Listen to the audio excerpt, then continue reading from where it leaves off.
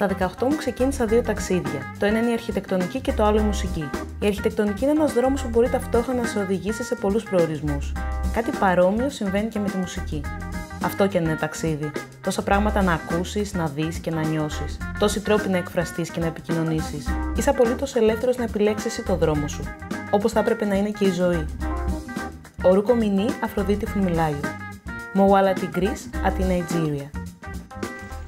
Climate change is the most common reason for internal migration.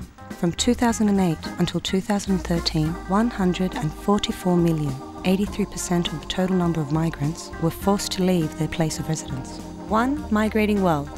Be part of the solution.